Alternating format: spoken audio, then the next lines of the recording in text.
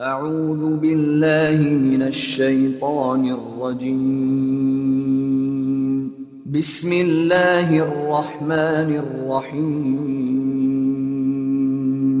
ولقد كرمنا بني آدم وحملناهم في البر والبحر ورزقناهم من الطيبات.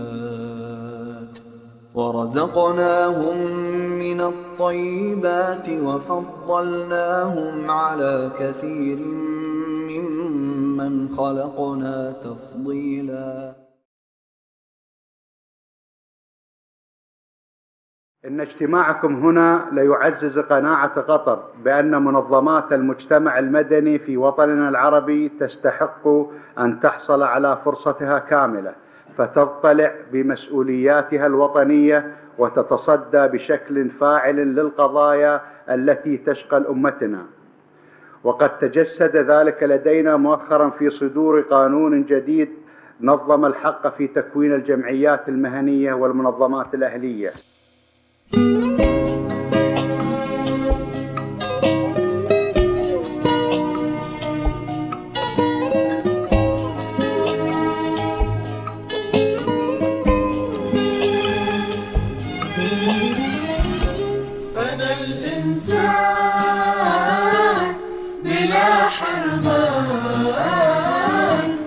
أنا لي حد مهما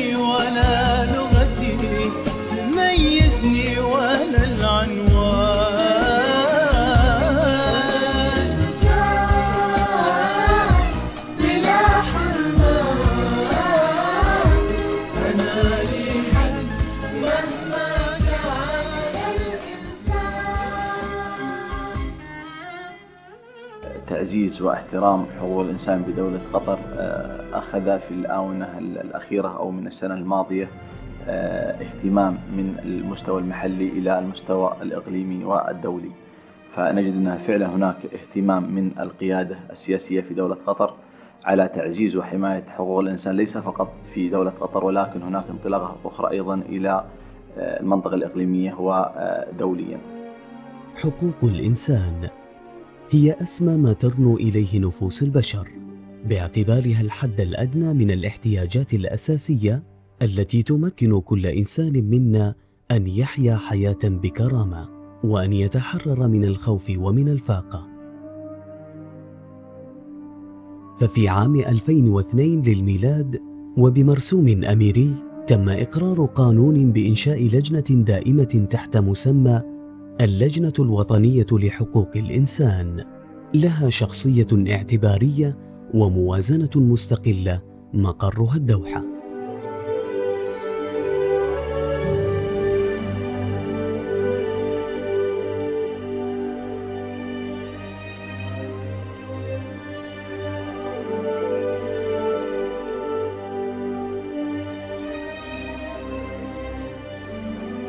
اللجنة الوطنية لحقوق الإنسان هيئة مستقلة آه، هي إحدى بل هي أهم مؤسسات المجتمع المدني لقيت آه، ارتياحا وقبولا آه، من جميع فئات الشعب القطري وكذلك من المقيمين على أرض قطر لما تمثله هذه اللجنة من أو ترمز إليه من إحياء فكرة حقوق الإنسان وتعزيز وحماية هذه الحقوق من الانتهاك ومراقبة التجاوز التجاوزات والانتهاكات التي تحدث لحقوق الإنسان ومحاولة آه، حلها وعلاجها مع الجهات المعنية بغية تعزيز هذه الحقوق. ومن ومن هنا عندما آه، نتصفح المرسوم الأميري المنشئ لهذه اللجنة سنجد أن هذا المرسوم قد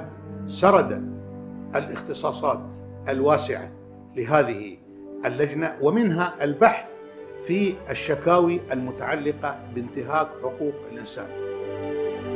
ومن تأكيدات اللجنة أيضا الإيمان بحقوق الإنسان الأساسية وبكرامة الإنسان وقدره وبما للرجال والنساء من حقوق متساوية والعمل على رفع مستوى الحياة في جو من الحرية والمساواة والعدل يتحرر فيه كل إنسان من الخوف ومن الحاجة. ولعل أهم نقطة أود أن أؤكد عليها في هذا الاهتمام أن هناك مبادرات عديدة من القيادة السياسية لاحترام وتعزيز حقوق الإنسان وهي إنشاء المؤسسة العربية للديمقراطية حيث أن هذه المؤسسة مقرها دولة قطر وهي تقوم على نشر وتعزيز ثقافة الديمقراطية في المنطقة العربية بشكل عام. كذلك هناك أيضا مبادرة أخرى من القيادة السياسية وما هي إلا احترام وتعزيز في الحق في العمل وهو إنشاء منظمة صلتك وهي مبادرة من دولة قطر لتعزيز الحق في العمل على المستوى العربي. كذلك على المستوى الدولي أود أن أؤكد أن هناك أيضا اهتمام من القيادة السياسية على تعزيز واحترام حقوق الإنسان وتعزيز واحترام حرية الرأي والتعبير وذلك من خلال إنشاء مركز الدوحة لحرية الإعلام وما هو إلا تعزيز واحترام حرية الإعلام على المستوى الدولي. وأولت اللجنة رعاية خاصة بحقوق الفئات الأولى بالرعاية وخاصة النساء. والأطفال وذوي الاحتياجات الخاصة وكبار السن والعمال. ويأتي ذلك باهتمام اللجنة بكل القضايا المتعلقة بذلك.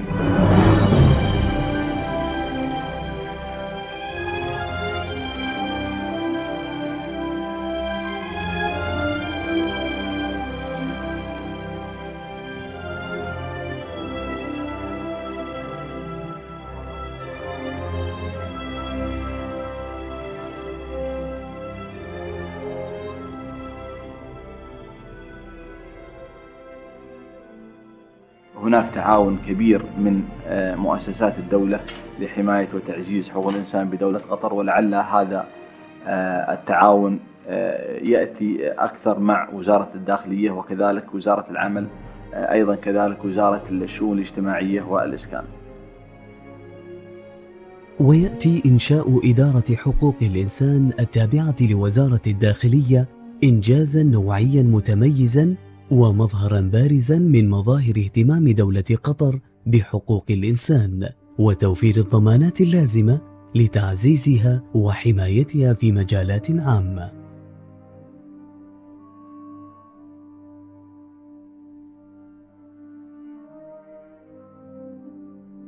ومعروف أن نحن في قطر نتعامل بكل شفافية وبكل يعني حرية في رفع التقارير لمجلس الوزراء. يعني من ينظر إلى تقارير اللجنة الوطنية لحقوق الإنسان قد يجد أنها تختلف عن بلدان كثيرة. ذلك أن هذه التقارير تنشر عبر مختلف وسائل الإعلام على نحو لا نجد له نظير في الكثير من البلدان مما يؤكد الشفافية التي تتعامل بها دولة قطر في هذا الموضوع الحيوي الهام في مرحلة من أهم مراحل التحول الديمقراطي الحضاري في قطر. وهو النهج الذي تبناه سمو الأمير منذ توليه مقاليد الحكم عام 1995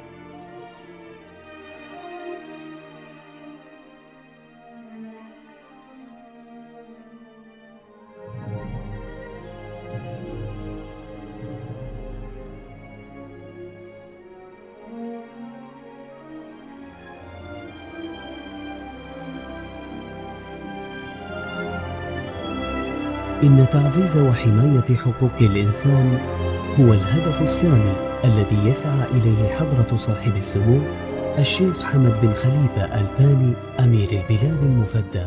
حفظه الله.